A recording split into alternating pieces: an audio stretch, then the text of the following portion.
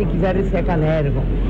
Μπορεί να έκανε τα λάθη της, μπορεί κάπου να καθυστέρησε να κάνει κάτι, αλλά αυτή τη στιγμή ήδη σε όλα τα Υπουργεία υλοποιούμε δράσεις. Το Πασόκ στοχεύει, αγωνίζεται και είναι βέβαιο ότι θα πετύχει την αυτοδυναμία. Και ως αυτοδύναμη κυβέρνηση, ωστόσο, έχουμε δεσμευτεί να αναζητήσουμε συνενέσεις και συνεργασίες στον ευρύτερο προοδευτικό χώρο, αναφέρει ο Μιχάλης Χρυσοχοίδης στην καθημερινή της Κυριακής. Τα κόμματα αποτελούνται από ανθρώπους. Τα κόμματα δεν απολογούνται για τη δικιά μου συμπεριφορά αν εγώ έχω στραβώσει. Στη δημοσκόπηση της ΡΑΣ για το παρόν της Κυριακής, στην εκτίμηση πρόθεσης ψήφου, η Νέα Δημοκρατία συγκεντρώνει 29,5, το ΠΑΣΟΚ 35,2, το Κομμουνιστικό Κόμμα 7,1, ο ΣΥΡΙΖΑ 3,3, ο Λαό 6,1 και οι οικολόγοι πράσινοι 3,9%. Στην ίδια δημοσκόπηση στην καταλληλότητα για την Πρωθυπουργία, ο Κώστας Καραμαλής προηγείται με 42,1 έναντι 40,7 του Γιώργου Παπανδρέου. Με 6,5 μονάδες προηγείται το Πασόκ στη δημοσκόπηση της ΜΑΡΚ για το έθνος της Κυριακής. Νέα Δημοκρατία 27,9, Πασόκ 34,4, Κομμουνιστικό Κόμμα 7,5, ΣΥΡΙΖΑ 3,1, Λαός 5,5, Οικολόγοι Πράσινοι 2,5%. Στην καταλληλότητα για την Πρωθυπουργία, ο Γιώργος Παπανδρέου προηγείται με 40,7 έναντι 36,1%.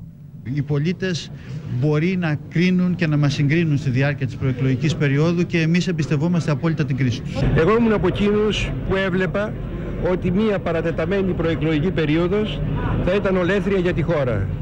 Με έξι μονάδες προηγείται ο Κώστας Καραμαλής του Γιώργου Παπανδρέου στην καταλληλότητα στη δημοσκόπηση της Public Issue για την καθημερινή της Κυριακής. Κώστας Καραμαλής 38 έναντι 32 του Γιώργου Παπανδρέου, με τον κανένα συγκεντρώνει 26%. Στην ίδια δημοσκόπηση, το 42% θεωρεί ότι καμία από τις δύο κυβερνήσεις δεν μπορεί να αντιμετωπίσει την οικονομική κρίση, με το 28% να απαντά το ΠΑΣΟΚ και το 22% η Νέα Δημοκρατία. Είμαστε μόλις στις πρώτες μέρες προεκλογικής περίοδου. Βεβαίως και είναι δύσκολα τα πράγματα. Αυτό κανείς δεν το αρνείται. Πιστεύω όμως ότι μπορούμε να κάνουμε την ανατροπή και να αλλάξουμε το κλίμα, επισημαίνει η Ντόρα Μπακογιάννη στη Real News. Τους μεγάλους ηγέτες τους χαρακτηρίζουν οι μεγάλες αποφάσεις τις οποίες παίρνουν είτε έχουν ρίσκο είτε όχι. Και θυμηθείτε ότι ο Καραμαλής θα διαψεύσει πολλές από τις Κασάνδρες. Τόσο στη Νέα Δημοκρατία όσο και στο Πασόκ η συζήτηση για τη συγκρότηση των ψηφοδελτίων αναμένεται να κορυφωθεί μέσα στα επόμενα 24 ώρα. Στην κυβέρνηση το ενδιαφέρον στρέφεται στη συμμετοχή ή μη όσων το όνομά τους ενεπλάκει σε υποθέσεις διαφθοράς, καθώς ο Πρωθυπουργός κρατά την τύχη τους στα χέρια του. Στην Ιπποκράτους, η αρμόδια επιτροπή υπό τον Γιάννη Ραγκούση ολοκληρώνει το έργο της και ο Γιώργος Παπανδρέου θα χειριστεί προσωπικά συγκεκριμένες περιπτώσεις όπως αυτή του Κώστα Σιμίτη. Νομίζω ότι ο κόσμος θα εμπιστευτεί τον Κώστα Καραμαλή. Δεν έπρεπε να συρθεί η χώρα σε μια εξάμηνη μακρά παρατεταμένη προεκλογική εκστρατεία που σήμαινε πόλωση και διχασμό. Στη δημοσκόπηση της MRB για τη Real News, το 79,7% των ψηφοφόρων της Νέας Δημοκρατίας χαρακτηρίζει μάλλον αρνητική την περίπτωση που η Νέα Δημοκρατία συμπεριλάβει στα ψηφοδέλτιά της πρόσωπα που φέρονται να ενεπλάκησαν σε υποθέσεις διαφθοράς. Στο δύσκολο αγώνα της παράταξης, οφείλουμε να είμαστε όλοι παρόντες. Εγώ ήμουν, είμαι και θα είμαι στρατιώτη της Νέας Δημοκρατίας να ενισχύσουν το Κομμουνιστικό Κόμμα της Ελλάδας, κάλεσε τους πολίτες η Αλέκα Παπαρίγα. Αυτοί που είναι πια για τα καλά υποψιασμένοι ότι η μόνη διαφορά ανάμεσα στη Νέα Δημοκρατία και στο Πασόκ είναι η κυβερνητική καρέκλα, πρέπει με το κεφάλι ψηλά να σταθούν στην κάλπη. Ο Γιώργος Καρατζαφέρης ανακοίνωσε την προσχώρηση του πρώην πολιτευτή τρικάλου της Νέας Δημοκρατίας Κώστα Πατέρα στις τάξεις του κόμματός του, ενώ ο Αλέξης Μαθεάκη ανέλαβε εκπρόσωπος τύπου του λαός. Συνεχίζονται οι κρίσιμες διαβουλεύσεις στον ΣΥΡΙΖΑ για να γεφυρωθούν οι διαφορές και να αποφασιστεί ποιος θα είναι ο επικεφαλής του πολιτικού σχηματισμού στην εκλογική μάχη. Νωρίτερα συνεδρίασε η πολιτική γραμματεία του συνασπισμού και σε λίγη ώρα θα συνέλθει η Κεντρική Πολιτική Επιτροπή του κόμματος. Περισσότερα θα μας πει αμέσως τώρα η Ανέτα Καβαδία. Και Ανέτα, τι περιμένουμε σήμερα. Από τις πλέον κρίσιμες ώρες στην ιστορία τους περνά τόσο ο συνασπισμός όσο και οι υπόλοιπες συνιστώσεις του ΣΥΡΙΖΑ, αφού ακόμη δεν έχει λυθεί το θέμα που αφορά στο ποιος θα ηγηθεί του σχήματος στις προσεχείς εκλογές. Θέμα που φέρνει το σχήμα στα όρια της διάλυσης. Οι διεργασίες είναι εντονότατες και είναι ενδεικτικό το γεγονός ότι η συνεδρίαση της Κεντρικής Πολιτικής Επιτροπής που επρόκειτο να ξεκινήσει στις 10 δεν έχει ακόμη ξεκινήσει, αφού εδώ και δύο περίπου ώρες βρίσκεται σε εξέλιξη έκτακτη συνεδρίαση της Πολιτικής Γραμματείας του Συνασπισμού με τη συμμετοχή και των επικεφαλών επικεφαλής των υπολείπων συνιστοσών του ΣΥΡΙΖΑ.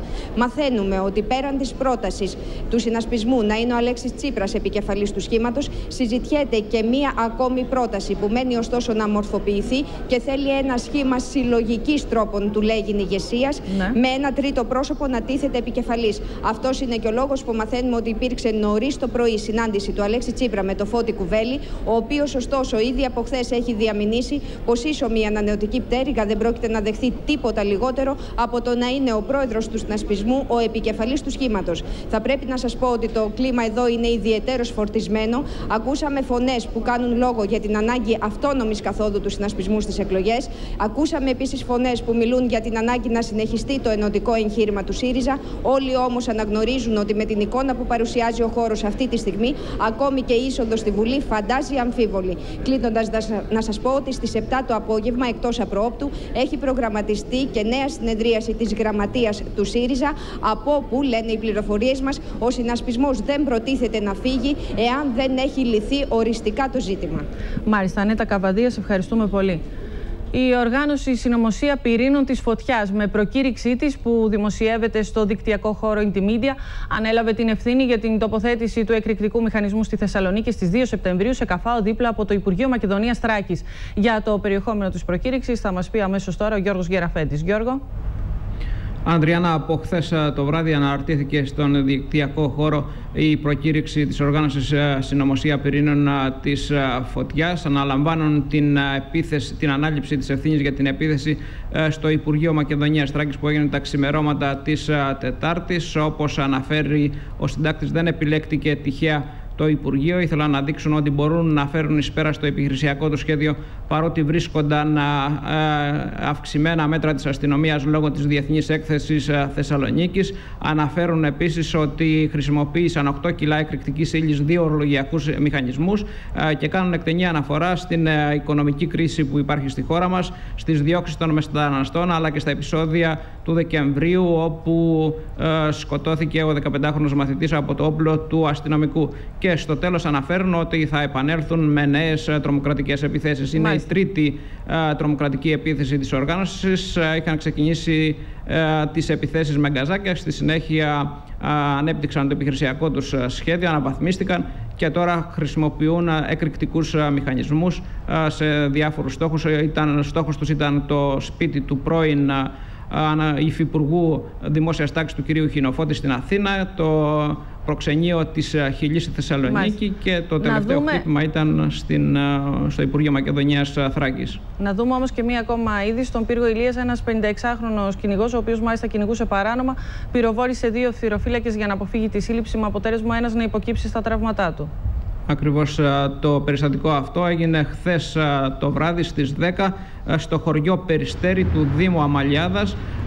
Οι δύο θηροφύλακες γνώριζαν ότι κυνηγάει παράνομα ο 56χρονος αγρότης, του έστεισαν καρτέριο όταν εμφανίστηκε και τους ζήτησαν να αφήσει κάτω το όπλο του. Αυτός όμως αντέδρασε, πυροβόλησε δύο φορές εναντίον των δύο θηροφυλάκων με αποτέλεσμα να τραυματίσει σοβαρά τον έναν στην, στον θόρκα και το άλλο στο κεφάλι. Ο 32χρονος θηροφύλακας μεταφέρθηκε αρχικά στο νοσοκομείο της Αμαλιάδας, αλλά υπέκυψε στα τραύματά του, ενώ ο δεύτερος, ο συνάδελφός του, μεταφέρθηκε στο νοσοκομείο του Ρίο, όπου σύμφωνα με τους γιατρούς κινδυνεύει να χάσει την όρασή του.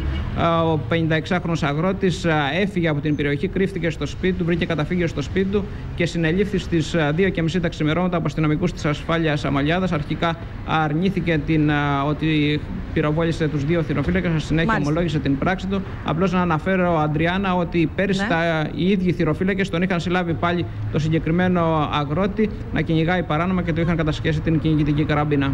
Γιώργο Γεραφέτη, σε ευχαριστούμε πολύ για το ρεπορτάζ σου.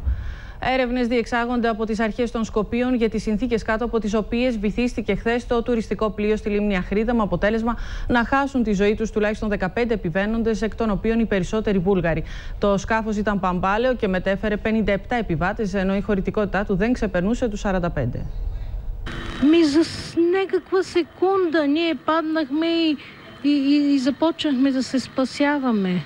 Аз в първия момент хванах съпруга ми за фанелката Μέσα σε ελάχιστο χρόνο το πλοίο Ηλίντεν με τους 57 επιβαίνοντες χάνεται στα νερά της λίμνης Αχρίδας στα σύνορα των Σκοπίων με την Αλβανία. Ερασιτεχνική κάμερα καταγράφει τις προσπάθειες ανάσυρσης των θυμάτων από σωστικά συνεργεία και πολίτες. Ja μέσα